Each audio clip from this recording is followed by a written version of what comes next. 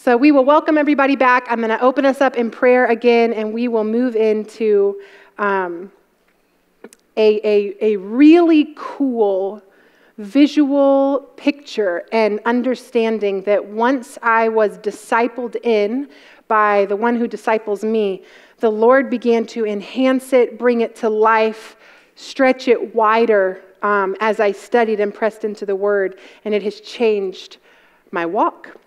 Uh, and I pray it will do the same for you. So, Heavenly Father, again, we just come into your presence. We can't pray enough. We can't praise you enough. We can't worship enough. You are worthy of our praise. You are worthy of it all, of our time, of our energy, of our resources, Father. I just pray now, even as I was speaking um, to, to an attendee here, and you were drawing this to my mind, God, there is blessing we see in the scriptures. Lord, when people come, when they make effort, when the woman pushed through the crowd to grab of the hem of your garment. Lord, when the people drew their sick out, even to fall into the shadow of Peter. There is blessing, there is anointing that is poured out. When people put demand on it, you supply. When people make the effort, mileage, time, money, resources to to draw near to your heart, to receive of teaching, to be filled. God, there is just a principle in the Spirit because you are good. You supply, you move, you reveal, you teach, you heal when people recognize that you can. And so they come. So, Heavenly Father, I pray that you would do just that. Even in this next hour, Lord, you would make yourself known. That as they put demand, Lord, you would supply and you would bless them. You would bless them, even as a result of their efforts. You say, hunger and thirst for righteousness, and you will be filled. Blessed are those who hunger and thirst for righteousness, for they will be filled. I just pray there is blessing that pours out in Jesus' name. Amen. So, as we were talking earlier, as I was testifying to you all earlier about my own story, it was powerful. Come grab seats, get yourself comfortable. It was powerful when I had the revelation of my redemption because of the encounter with Jesus. And then, even without discipleship at the time, I just praise God for his faithfulness simply because the Holy Spirit had been welcomed to fill me. I had decided to follow. There was a boldness that came, there was a hunger and a thirst that came. And I began to realize that the result of a love so great, the result of a rescuing encounter, the result of the mercy of God, fully warranted the complete and total yielding of my life. There was no sin the Lord could point out in me that I was, was too ashamed to say, You are literally right, God. Like sometimes we just need to get really raw and honest with the Lord. We puff ourselves up with such pride. It's like lipstick on a pig in the slop.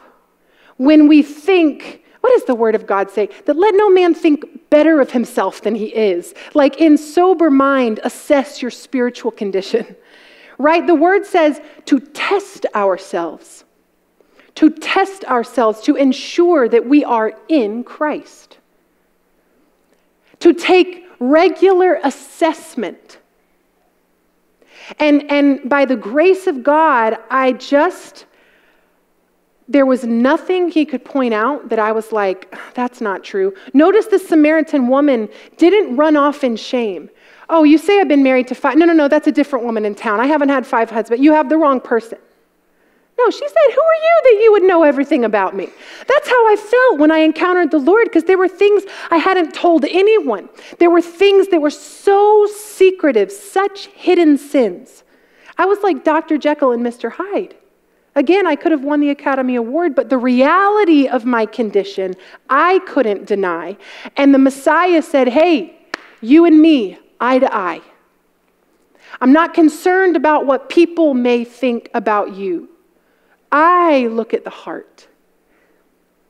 And the Word of God says our prayer should be God, search my heart and know me, point out any iniquity in me.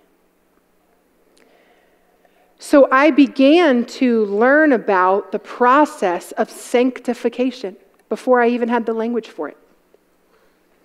And I began to hear the still small voice of God and obey it. Even before anyone said, This is what you should do. You see, a heart captivated by a love so great, it, it becomes the object of your affection. And if you will allow Jesus to be the greatest object of your affection, what does the, Lord, uh, the word say? Love the Lord your God with all your heart, soul, mind, strength. Love your neighbor as yourself. These are the two greatest commandments. When we say yes to all, and no idol takes a seat before our God. We welcome him into every pocket, every space, every shadow, every environment. And Galatians 5:25 says as we live by the Spirit, we begin to stay in step with the Spirit.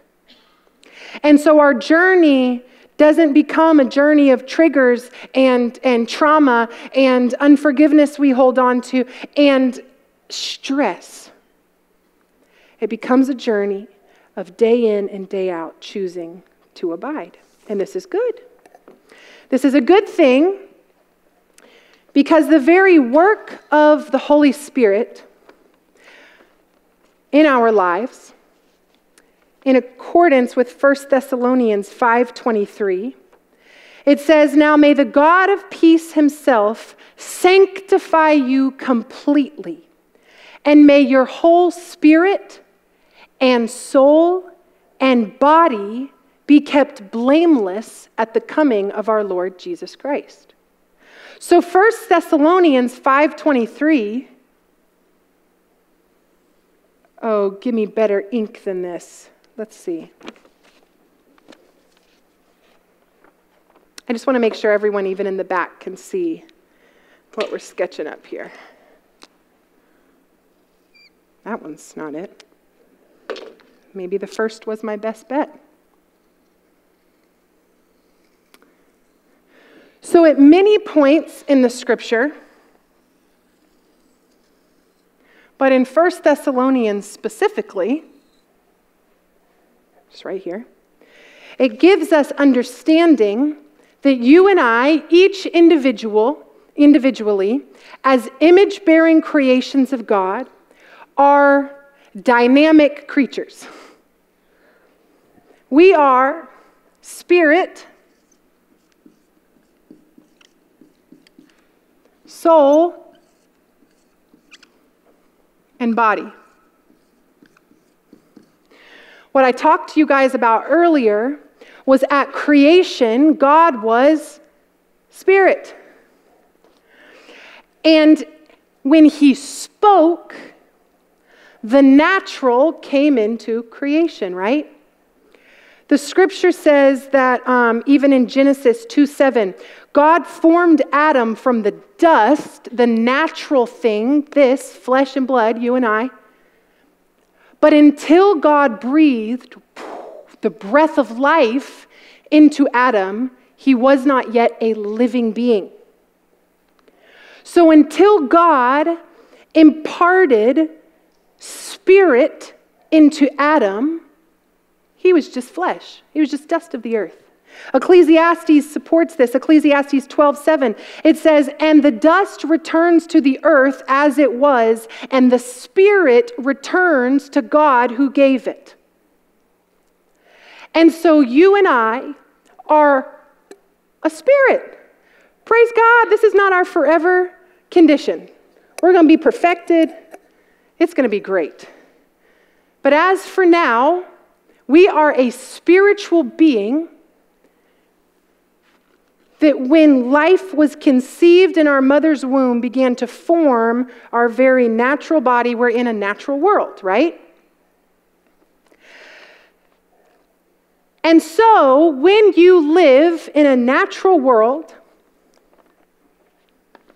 before you are in Christ, or when maybe you have knowledge of God, but you are living as you please, whatever it may be, the adversary's desire, the enemy's desire, is that as we live as this multifaceted creation, God's so creative, because here, I'll just explain this a little further.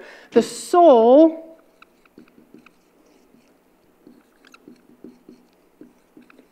is what really encompasses what we may say when we say the heart of man, the mind, the will, and the emotions. So, this is your natural flesh and blood, the flesh, the natural world. This is your inner spirit, as the Word of God speaks to. And then, as the Word of God speaks to, your soul, which really holds together what we know as our mind, our will, our emotions. We're complicated creatures. Hebrews 4:12 For the word of God is living and active, sharper than any two-edged sword, piercing to the division of soul and spirit, of joints and of marrow, and discerning the thoughts and intentions of the heart. When we are in the kingdom of darkness, the way that the enemy desires we think and operate, essentially when we're born into iniquity, when we're just the, just the human condition from the jump.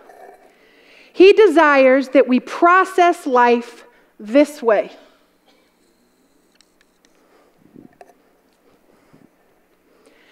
That what happens to us in the natural informs and shapes our mind, our will, impacts our emotions, forms us, that our lives are informed by our natural circumstance, right?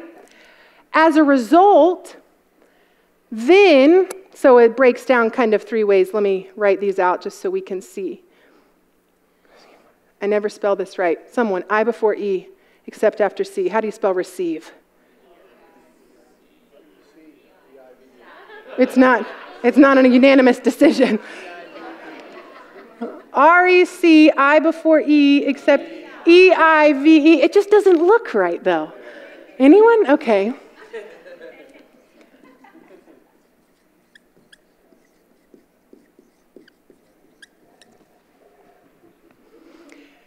Receive, process, and express. The enemy desires that we receive information in the natural that our soul seeks to process it as it can, and that it expresses itself into our spiritual understanding. So I'm going to give you an example. When my dad committed suicide,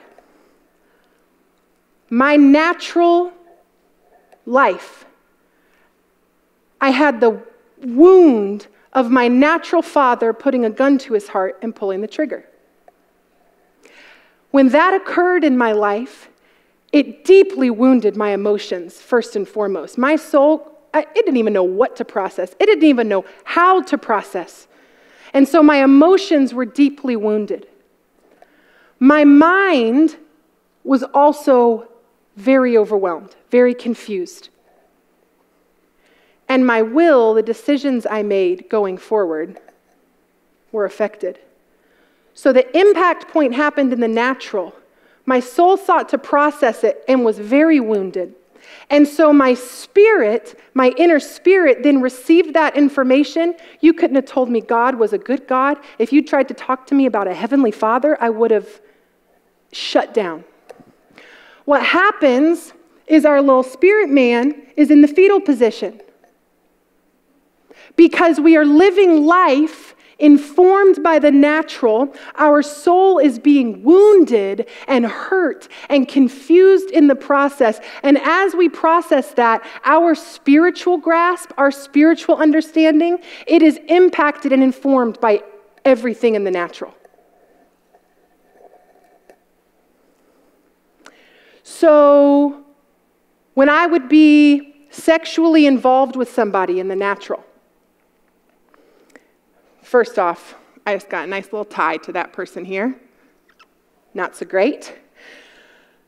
That sin point that brought connection there impacted me in the natural and began to affect my mind, will, and emotions. So I may think, no, I'm good, I don't need him, it's fine. And I get a 2 a.m. text, you better believe my will responded. Okay, I'll go do that thing. My mind, no, I, I believe I'm, I'm a strong, independent woman. I don't need, couldn't stop thinking about it. My emotions, feel obvious. And therefore, when this union was made, it's why God says man can't join himself to prostitute. There's no, what union is there between the clean and the unclean? When there was a yoking by sexual contact, there was effect here. And when this ultimately was unhealthy and ended up leaving more wounds and he left, you better believe I thought that I needed to perform for God in order for his love to stay that he was going to leave, that if I wasn't enough, that I, if I wasn't, didn't do enough for him, that if I wasn't desirous enough, God wouldn't love me. And so the enemy desires that we receive, process, and express things this way, so that whatever he wants to carry out in the natural, by way of trauma through others, by way of our own sin and ungodly yokings to other people, by way of the sin that opens the door wide through pornography, and things can just flood into the mind, the eye that is the lamp into the body, into the ears. We get triggered by physical things. The enemy says, Let me do everything I can to this person because they think this life, this body, this is it. So they become enslaved to the urges of their flesh because they think that's their master. They respond to the triggers, they respond to the whims, the wants, and their the natural life processes through the soul and leaves us very hurt, very confused, very unwell. And it moves to the spirit, and we're just dead. You can call yourself a Christian and be dead. Matthew 7, 21 through 23. Not all who say to me, Lord, Lord, will enter the kingdom of heaven. Only those who do the will of my Father. On that day, many will say to me, Did we not prophesy? We perform miracles, we cast demon in your name. To him I will say, Away from me, I never knew you. Because when we live life this way, you can go about all the works of religion. You could study all the books out there. Until you welcome the Spirit of God to bring your spirit to life. The trauma of the world will continue to inform your spiritual condition, and you will be unwell. Now, we're going to take a turn. While we were still sinners, Christ died for us. He recognized the wages of sin was death. He recognized the kingdom of darkness carrying out its work. The, the invitation of sin is to autonomy and freedom. The reality is, as soon as we take the bait, we get trafficked into the brothel, enslaved to sin. I use these terms because God used them with me because my wounds were sexual and I, it all made sense. Unclean spirits,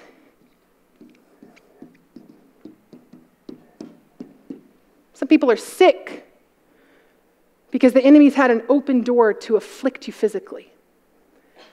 Some people, your mind is tormented. Your obedience and your will is all over the place. You'll give a yes to anyone who makes any request of you. You have no discernment of your yeses and nos because your will is wounded. Your emotions, a mess. Unforgiveness, pain.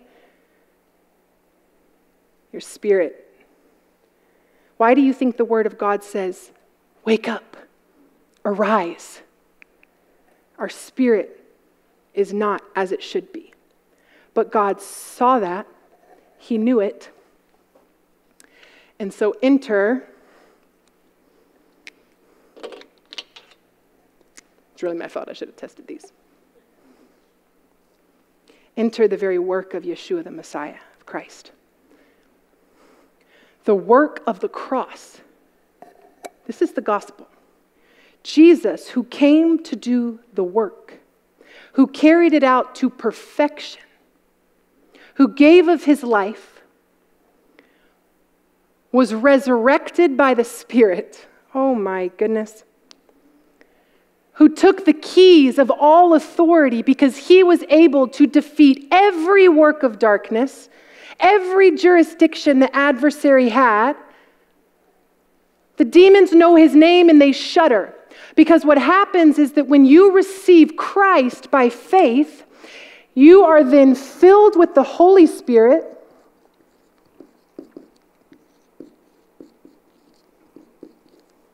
And you are born again. Woohoo! Can y'all see this? You are born again, and now life functions in a way that is informed received, processed, and expressed as God Almighty always intended it to be. Before the enemy came and flipped the ways upside down, removed us from the place of intimacy in the garden, taught us so many wicked things. The cross of Christ restores what was always intended, which above all, first and foremost, is unity and oneness with the Spirit of God. Your spirit comes to life and receives of the Holy Spirit and now communes with the Lord. And so now, where you receive when you are alive in Christ is you receive your information from the Spirit of God. That's through the Word, that is through the fellowship, the body, that is through prayer and the hidden place. And the greatest wound many of you will have to navigate through is learning how to navigate the hidden place of intimacy with God because intimacy is how the enemy has wounded you. The hidden place with the Lord is not exploitative. You don't prove yourself. He won't leave you, shame you, embarrass you, and depart. He won't use you and abuse you. Above all, the will of God is never going to force itself upon you. Pornography has trained the mind to see a perverse, manufactured, and, and sick image that is fake. Intimacy is safe. We can't be people who operate. Oh, I could go off a whole tangent. Someone go read Fully Known. It will really break that down. Of how our wounds physically inform our relationship spiritually. But when we receive Jesus by faith, we become filled with the Holy Spirit and we begin to know oneness with the Spirit of God. Instead of the natural life informing us, the Spirit of God informs us. We arise and His mercies are new every morning. We pray without ceasing. It says to pray continually. We worship Him even when the circumstances in our lives don't look like they're worthy of worship. We, we pursue His heart. We seek after His will. I want your ways to become my ways, your thoughts to become my thoughts. Created me a clean heart, O God. Renew a steadfast spirit within me. Our life is informed by the Spirit. You won't find me, by the grace of God, making a single decision I haven't consulted the Spirit of God on. Everything discerned, because it may be the most enticing offer. I'm going to go have to ask the Holy Spirit about that. You laugh when you see people on stage or, or in moments say, Thank you, Holy Spirit, because you don't know that He actually wants to talk to you 24 7, and the Good Shepherd is always speaking, and His sheep know His voice.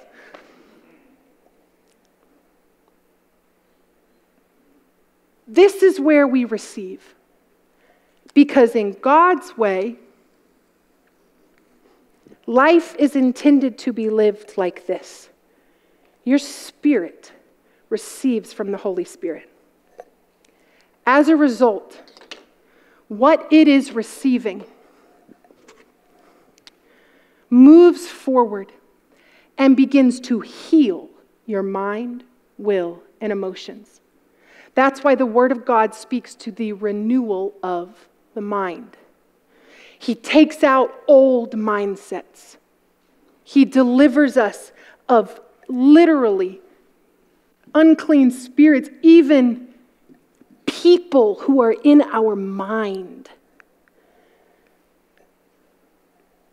He begins to heal our will.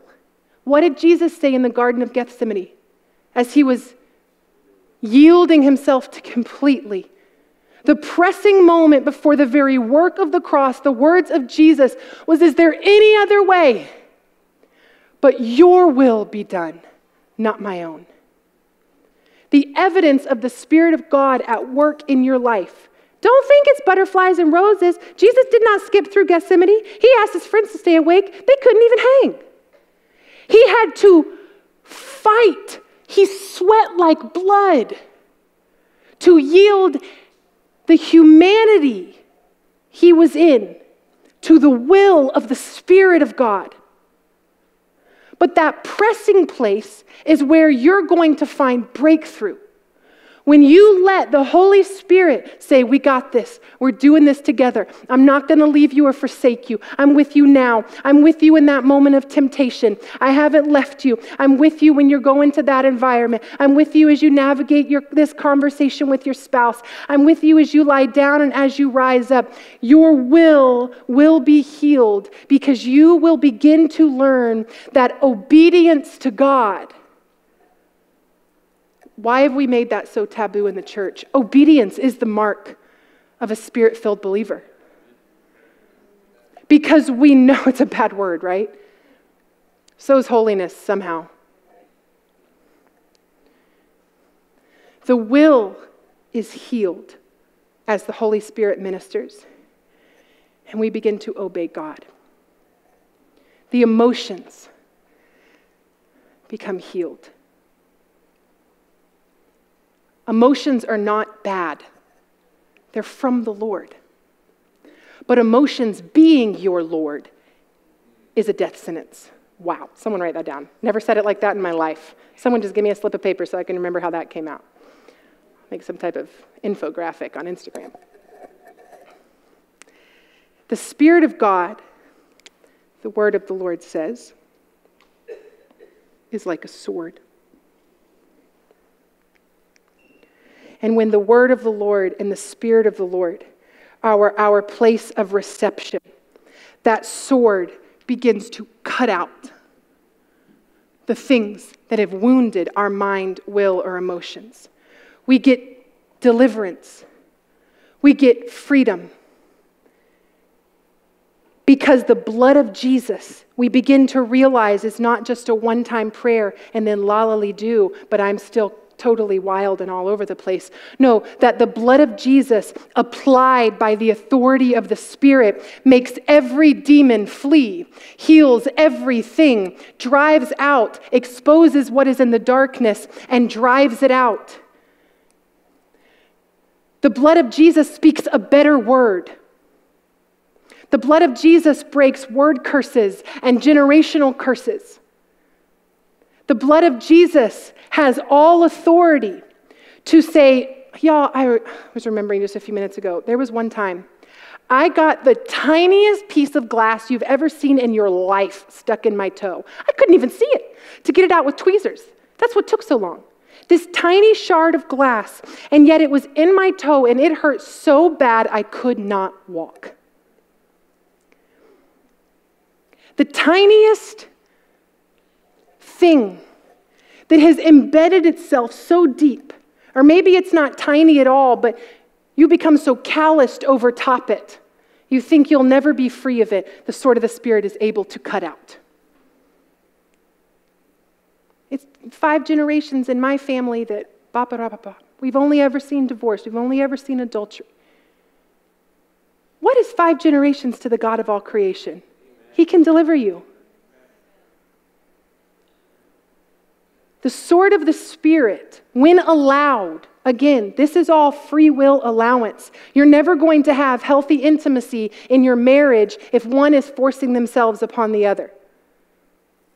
Healthy intimacy is cultivated by a mutual yes. The same is to be said with spiritual intimacy with God. He's right there, but He's not going to override your will. It has to be your faith saying, I agree with you. Okay, let's do the work. As you allow the Holy Spirit to be whom you receive from, it gets processed through your soul, and your soul is healed, your mind, your will, and emotions renewed, healed. Obedience comes. We're no longer thinking about that person. Every decision we have to make, it's like, well, what would they think about it? Is the first thing that comes to our mind. No, no, no. Our heart cry becomes, Abba, Father, what do you think about it? As the Holy Spirit heals the soul, the expression comes out in the natural. We bear the fruit of the Spirit love, joy, peace, patience, kindness, goodness, faithfulness, gentleness, self control. We begin to walk in self control. We begin to, oh, let's just look at the Word of God. But as I say, walk by the Spirit, and you will not gratify the desires of the flesh. For the desires of the flesh are against the spirit. That's why Satan wants you going that way. And the desires of the spirit are against the flesh. God's like, no, no, no, in my kingdom. And he shoots it right back. For these are opposed to each other to keep you from doing the things you want to do.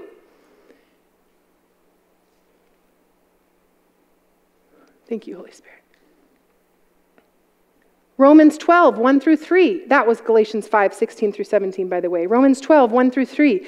I appeal to you, therefore, brothers and sisters, by the mercies of God, to present your bodies as a living sacrifice, holy and acceptable to God, which is your spiritual worship.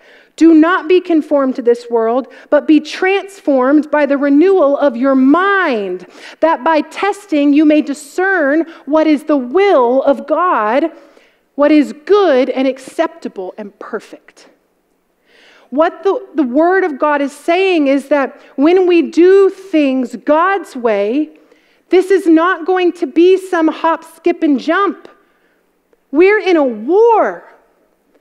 Spiritual warfare is real. The enemy hates losing ground.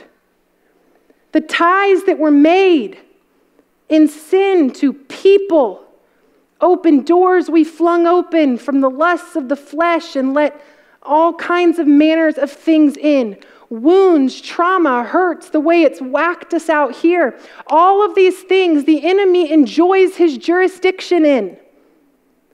It is not until one is receives the breath of life by the Spirit of God that they say, okay, time to put on the full armor of God and to walk with the Spirit as He transforms us and sanctifies us completely, that our lives would become a physical testament to His glory.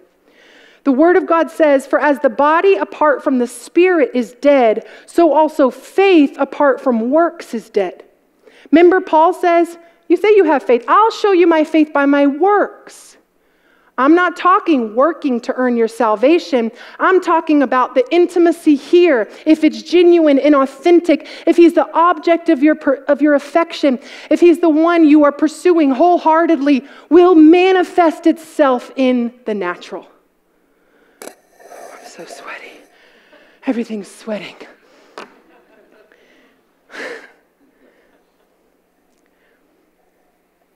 and then your light will shine before men, and they'll give glory to your Father in heaven. And then our lives begin to testify. And then the transformation. You will be so unashamed to testify when you lived life this way because you'll care that everyone come to life and do things God's way. You'll go on rescue mission for the least and the lost and the oppressed. You won't be the one that continues to cycle back in learned helplessness.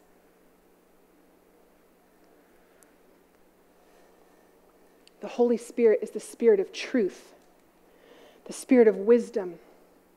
There is nothing in the spirit realm that is hidden. God sees everything. And so, is this on? There we go. Could y'all hear anything I just said? Okay, praise God. Thank you, Lord. God sees everything in the spirit, but the reality is, so does the adversary. The Word of God says we're not in a battle of flesh and blood. Spirits, principalities, these are real. The warfare is real. He's roaming around looking for any spot, any space, any open door, any connection point that you haven't yet allowed the Holy Spirit to heal. But the work of God and the sufficiency of the blood of Jesus, as we agree with Him, is that He will complete the work that he began. That's what the word of God says. And his blood is sufficient to sanctify us completely, body, soul, and spirit, to cover every element of who we are. We plead the blood when the spiritual warfare is intense. We plead the blood when we recognize our mind and our will are, are needing healing and transformation. We plead the blood as we head out each day into the natural world as our choices in our flesh are set before us. His work is to heal all of this completely. And many times we get a lot of lectures or lessons or teachings. They're so good, they're so powerful. I'm not discounting them, but they speak to the mind, to the healing of the will and the emotions, and to the body. All of that is good, but the Word of God said the spirit apart from the body is dead. If you want to know deliverance and to walk in the boldness of the Spirit of God, and for His grace to so indwell in you that you begin to take every thought captive and surrender it to Christ, that your eyes become opened, that the lusts of the flesh don't own you, you you must be born again. Nicodemus was like, What do you mean? How are we going to crawl back in our mom's womb? That's because Nicodemus only understood things in the natural. So when Jesus was speaking spiritual principles to him of revelation, Nicodemus was like, How's that possible? Jesus was speaking of your spirit. We must be born again. Born again. We must ask the Holy Spirit to fill and indwell us. Jesus must become the object of your affection. The heart of God must become what you long to know. Anything that takes the place of that is an idol that must die in your life. We are not people of idolatry, we are the sons and daughters of God. But if you're trying to find healing and you're only addressing these things and you miss this, you miss this. No, our inheritance, because of the work of Calvary and the blood of Jesus shed, is the gift. I'll talk about it tomorrow. It's called the Matan, the gift before departure that Jesus poured out. It's all about the Hebraic wedding. I'm really excited for tomorrow morning. I don't know about y'all. But before the bridegroom would go to his father's house to prepare a place for his bride, he left a gift before departure. The Hebrew, it was known as the Matan. What did Jesus say to the disciples? Go hang out in Jerusalem and wait. I have to leave, but it's good that I do because I'm sending you a helper. I'm sending you a gift. And the Holy Spirit's job is to teach us, to convict us, to counsel us, to comfort us, to remind us of everything Jesus taught. That's an everyday, all day engagement. I need to know when I get an urge and I want to sit down at the computer and navigate to a familiar site. I need to be reminded of what Jesus taught. I want to know that when I'm disrespectful or dishonoring to my husband, I need to be convicted.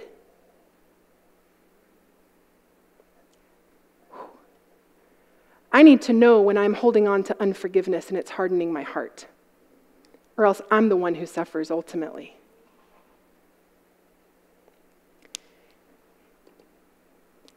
He'll heal bitterness. He'll heal rage. He'll heal anger. He'll heal betrayal. He'll bring forgiveness. He will bring worship. He'll cause the tongue to speak life and not death. He will transform every element of who you are if you'll let Him. And everything will change in your life. And you will look like that new creation you claim to be because you've been born again. You're being made well. And you're ready to testify by your life and through your works. Our spiritual condition will always reflect itself in our natural condition. What is your spirit testifying to? Whom do you serve?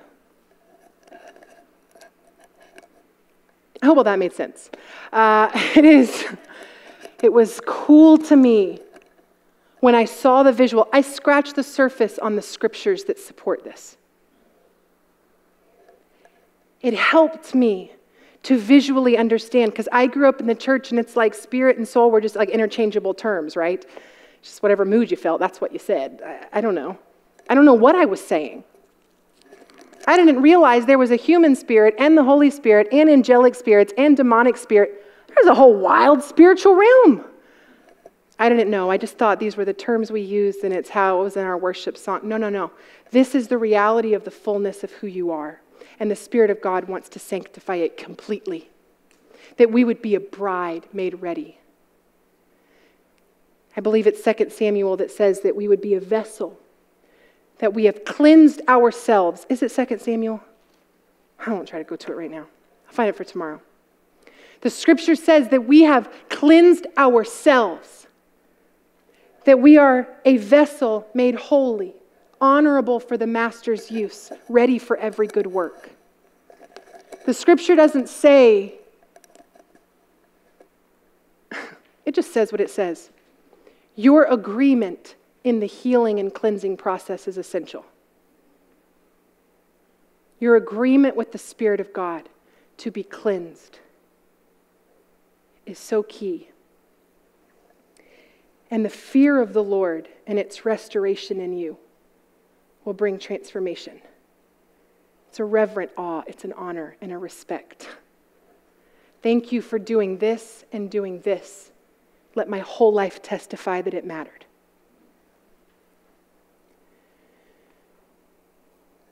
He's able to do immeasurably more than we could ever ask and imagine over your life, over your marriage, over your family, in your process of healing. Let Him. Heavenly Father, we praise you and we thank you. I thank you, Abba, that you see us and that you know us. I thank you, Jesus for the work that you did that paved the way for the Spirit to come. I thank you, Holy Spirit. You are such a gift, a gift that multiplies. I thank you that your work, your primary work, is to sanctify us. And as we agree with that, the other works, born of the Spirit, conceived in the hidden place, will begin to make themselves known in our lives? Would we be people whose wills are yielded to yours, God? Whose emotions are healed by you, God? Whose minds are renewed by you? Whose hearts are transformed? Our hearts of stone removed and a heart of flesh put in, Lord, that thrives. Let us guard it, for it's the wellspring of life, God. I pray that your Holy Spirit would bring healing and restoration. And Lord, I pray that we would be people who, who function in the flow that you desire and are not held captive by the flow of the adversary. Where every urge must be responded to as our flesh sees fit, where every thought is entertained, where every bit of bitterness still holds ground or unforgiveness remains.